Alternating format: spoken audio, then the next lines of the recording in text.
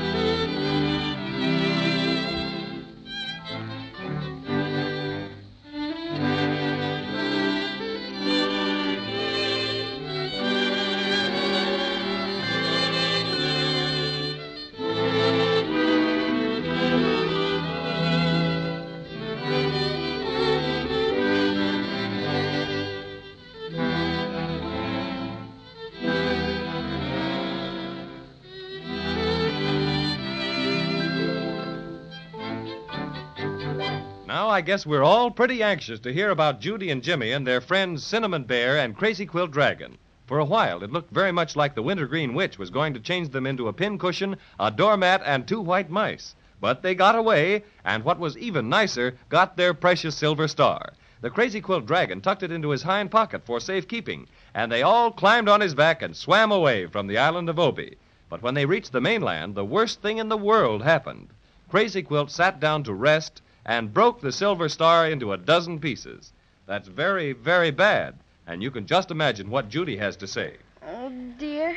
We might just as well never have found the silver star as to have it broken. Gee willikers, yes. Especially after all the things we did to get it back. If you had to sit down, Crazy Quilt, why pick a rock to sit on? Oh, I am abject. I- I'm speechless, but I beg you to realize that my mistake was uh, unintentional. Well, we know you didn't mean to do it. But gee, Crazy Quilt, couldn't you have used your head a little bit? Well, uh, Don't go picking on poor Crazy Quilt. Of course, he didn't mean to break the star, but making him feel bad isn't going to do any good. oh. Oh, dear. We might just as well have Paddy O'Cinnamon take us back to the attic again. Yeah, I guess so. Goodbye, Crazy Quilt. Thanks anyway for saving us from the Inkaboos and carrying us across the root beer ocean. Yes, thanks for that, Crazy Quilt. You're a good dragon at heart. How are we going to get back to the attic, Cinnamon Bear? The airplane is still at the bottom of Looking Glass Valley. Maybe when Crazy Quilt has rested a little, he'll carry us a piece. Oh, gladly. Anything to help atone for my frightful carelessness. Anything to. Wait! What is it, Crazy Quilt? Have you got a pain? A pain? No, I've a plan. That's generally the same thing with you. There's something that might be done yet. Sure, and you've done everything that can be done, Crazy Quilt. You and your nonsense. Just a minute, my feisty friend in the fur pajamas. Let me say my say. Ah, very well. What's on your alleged mind? Why don't we go and see Melissa? Splendid! Now, why didn't I think of that? Who's Melissa? Haven't you heard of her? Why, she's our queen, the ruler of Maybeland. What could she do? What can't she do, you mean? She's wonderful, so kind and generous. Everybody loves her. That's swell. But what could she do about the Silver Star? Anything, everything. She has wonderful powers. Nothing is impossible to her. Why, do you know once upon a time I had the great misfortune to fall into a lemonade wishing well, and all my beautiful colors ran together. I'd sure like to have seen you then. I shall overlook your remark. Oh, I was a mess. I thought surely I'd never be able to hold up my head in society. But I went to Melissa, and she restored me to my natural beauty and splendor. She certainly has a marvelous reputation, all right. I've always intended to go to court sometime and see her for myself, but I never quite got around to it. Oh, goody. Maybe she can help us. Where does Melissa live? Oh, she lives in her palace in the capital of Maybeland. Uh, uh, that's capital M. A bit southish of the Lollipop Mountains, right in the middle of Marshmallow Meadows. Maybe she'll know some way to have the star all put together again. I'm sure she will. Will you take us there, Crazy Quilt? Certainly. I'm quite as good on land as on water. Everybody help me pick up the pieces of the star. Jimmy, let me have your hanky. It's bigger than mine. Okay. Here it is. Ah, here are some pieces. Yeah, and here are some more. I think Jimmy and I have all the rest. Uh, hold out your hanky, Jimmy. Okay. There. All right, now let's get started. Climb on, everybody. Up you go, Judy. Up, Jimmy. well, we're on. Outdo yourself, Crazy Quilt. Gallop of you's never galloped before.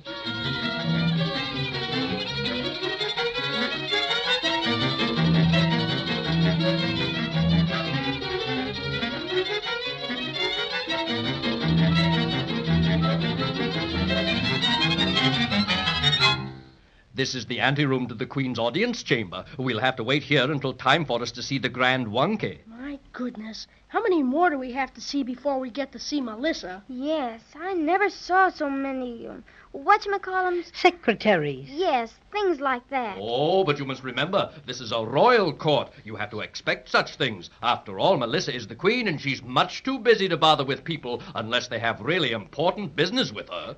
Who'd you say we had to see now? The Grand Wunky. He's sort of head of all the ceremonies and presents everybody to Melissa. I wish he'd hurry. My stuffing's getting very tired. Oh, I don't mind waiting so much. It's so beautiful. I like to look down that big staircase and see all the people passing up and down. Oh, here you are, here you are. So sorry to keep you waiting, but uh, you know how it is, so much busy.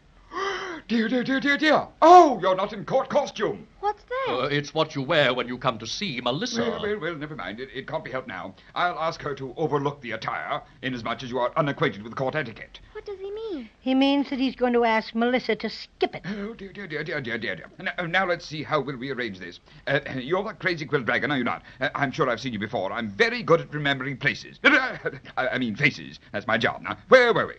Uh, oh, yeah. awfully nice of you to drop in and all that. Um, must come again sometime. I'm Judy. I'm Jimmy. And I'm the cinnamon bear. That's us, and we're very anxious to see Melissa. Is there anything special we have to do? Oh, dear, dear, dear, dear, dear, dear, dear, dear, dear, yes. The bow, you know, the bow. So. I feel awfully silly doing that. You don't have to. Just be polite, and that's all that's necessary. And, and of course, I must announce you. Now, now let's see. What formation would look best? Mm, let me see. The, the little girl first. Yes. And then I think the boy slightly behind her with the bear. Then the crazy quilt dragon bringing up the rear guard. Bringing up what?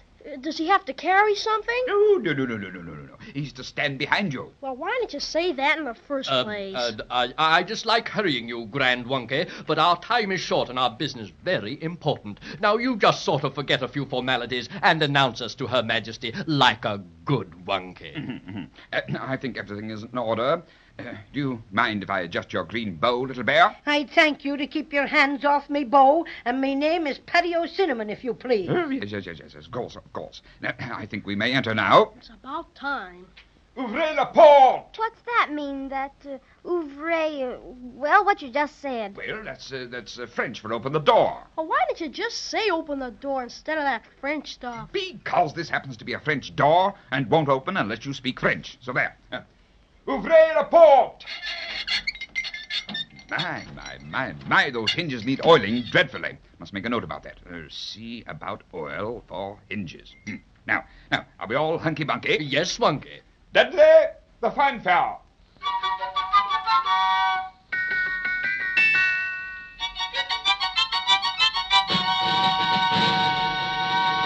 Oh, thank you, Dudley. That was lovely. Thank you. Uh, now, friends, you may enter the presence of Queen Melissa of Maybeland.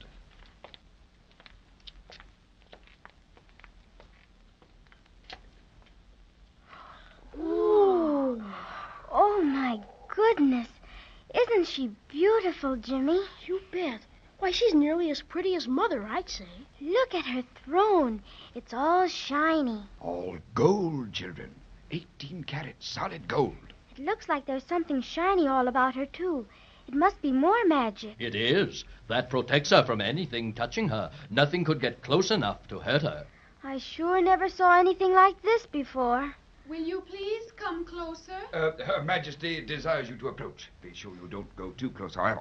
Uh, Your Majesty, may I present Miss Judy? How do you do? Fine, thanks, but we. And, and, and Mr. Jimmy. I'm so happy to see you. And we're glad to see you. And this is. The crazy quilt dragon, of course.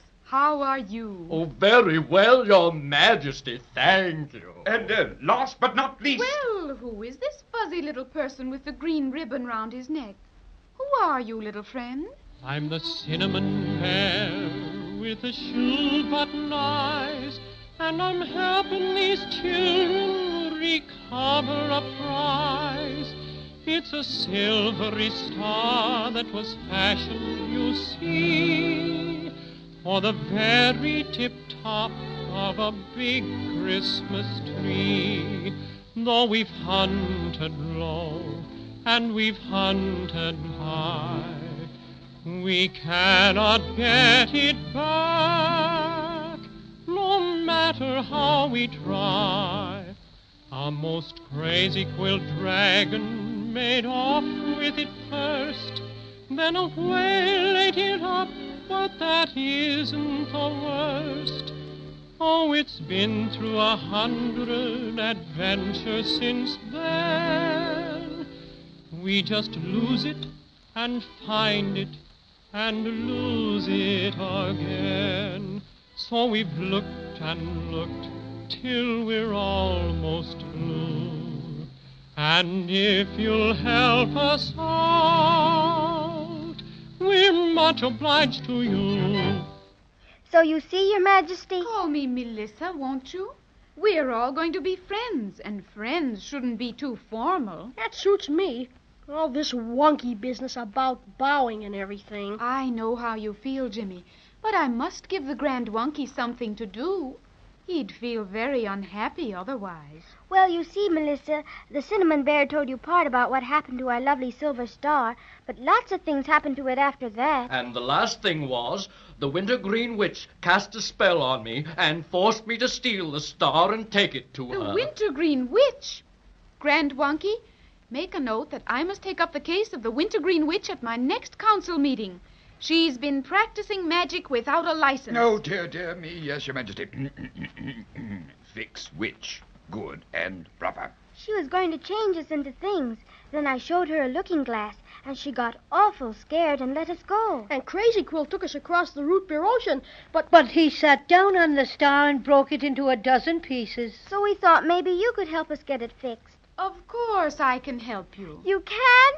Oh, that's wonderful. Now you just listen very carefully to everything I say, and your silver star will be restored. Well, that's quite the best news Judy and Jimmy have had since they started out on their adventurous trip through Maybeland. Let's be sure to listen next time and find out how Queen Melissa plans to get the broken silver star back into one piece.